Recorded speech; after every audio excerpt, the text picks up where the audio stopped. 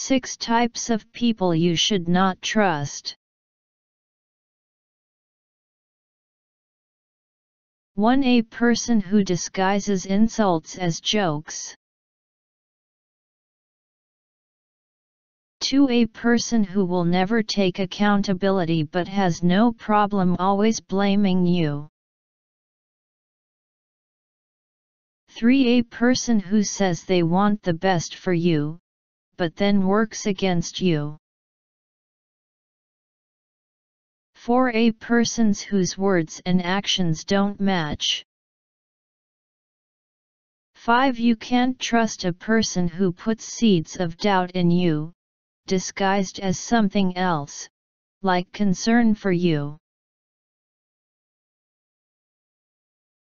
6. You can't trust a person who always tries to sabotage you, or make things harder for you.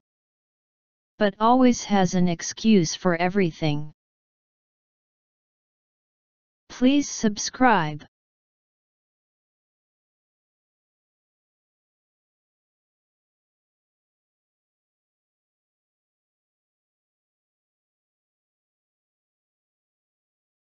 Thanks for watching.